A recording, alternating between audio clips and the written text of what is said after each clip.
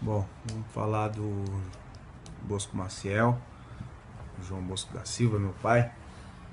Ele é um cara muito comprometido, uma pessoa 100% da paz, sempre me apoiou, apoiou meus irmãos em tudo que a gente quis fazer.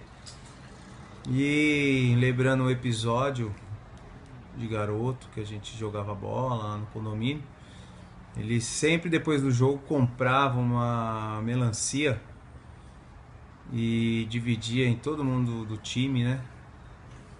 Enfim, e falando do, de como foi o jogo, enfim, ele era técnico também de um time, do, do, na época eu era infantil, ele era técnico do pessoal mais velho que era o infanto, mas ele sempre participou, sempre foi muito comprometido com o que ele se comprometia a fazer.